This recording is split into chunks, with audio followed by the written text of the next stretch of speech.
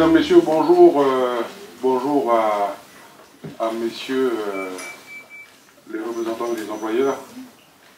Euh, bonjour à la membre du, du gouvernement et je vous remercie de votre présence pour notre réunion d'aujourd'hui.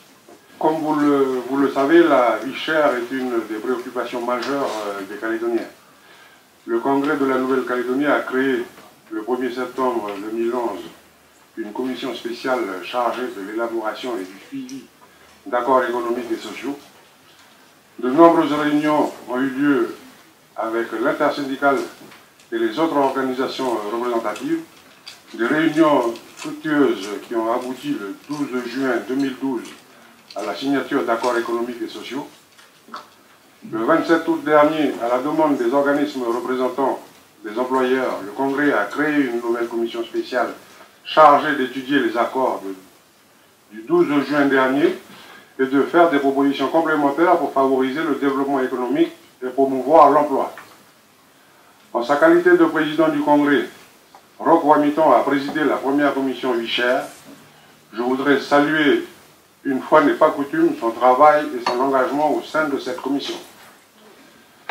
Il a souhaité poursuivre le travail engagé depuis 14 mois. Dans le cadre du partage des responsabilités au sein de l'institution, j'ai décidé de répondre favorablement à cette demande et de le désigner pour, euh, pour me représenter au sein des deux commissions. C'est donc lui qui présidera sous mon autorité la commission Vichère employeur. C'est lui également qui continuera à présider la commission Vichère avec l'intersyndicale. Je vous remercie et vous souhaite bon courage pour euh, vos travaux et puis surtout pour euh, l'ensemble de nos populations. Merci. Je vais donc euh, laisser la parole euh, au président de la commission euh, pour poursuivre notre commission.